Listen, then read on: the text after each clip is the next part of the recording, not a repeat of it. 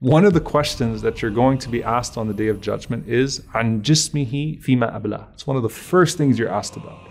What consumed your body? Anything that was used for Allah, anything that aged for Allah, anything that was induced for Allah is actually a great sign of honor.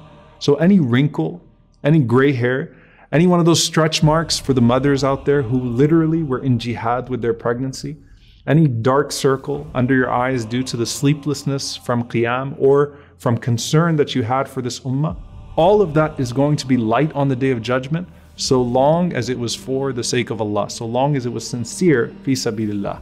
And the practical side for the community is just like Allah subhanahu wa ta'ala is going to honor those marks on the day of judgment, we see those marks in our community as badges of honor amongst us.